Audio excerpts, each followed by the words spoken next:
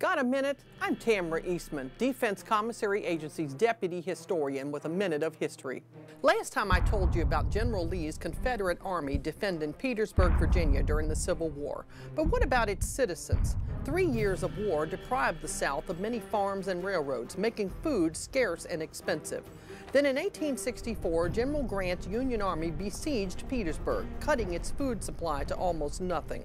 Facing starvation, citizens robbed smokehouses and neighbors' gardens. Squirrels, pigeons, even rats began to disappear. To boost morale, the wealthy held starvation balls, dressing formally and dancing to fine music. But the only refreshment was water, called Jeff Davis Punch after the Confederate president. Grant took the city in April 1865 and offered food to anyone pledging loyalty to the Union. Starving and knowing the war was lost, the citizens took the pledge. With a minute of history, I'm Tamara Eastman.